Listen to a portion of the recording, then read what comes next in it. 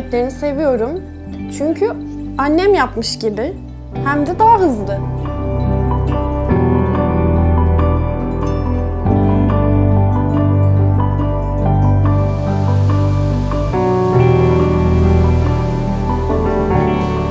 Yaylayı farklı kılan tüketici ihtiyaçlarına, tüketici tatlarına uygun olarak inovatif ürün üretmesidir.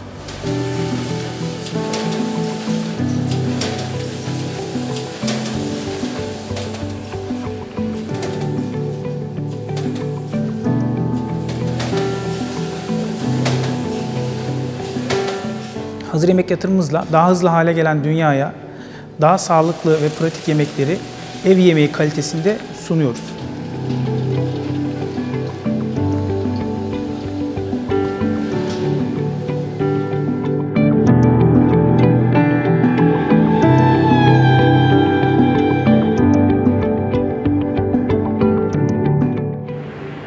Benim ismim Muhammed Savvaha. Benim 4 senen önce geldim buraya çalışıyorum. Benim işim balete vuracağım. Yani o kadar işim basit. Zor bir şey değil.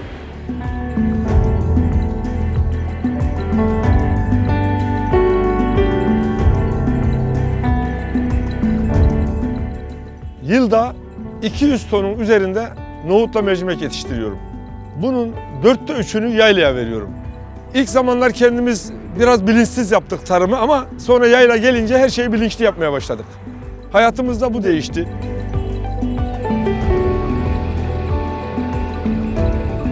Yüzden fazla ülkeye ticaretimiz bulunmaktadır. Ürünlerimiz Türkiye'de 20 binden fazla noktada satılırken Avrupa, Asya, Afrika ve Amerika kıtalarında satılmaktadır.